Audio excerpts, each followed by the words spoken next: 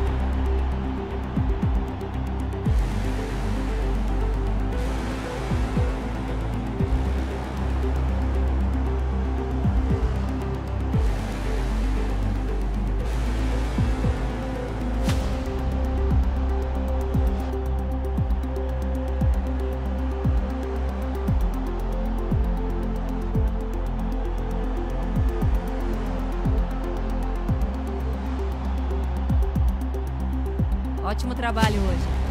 Terminamos em P1.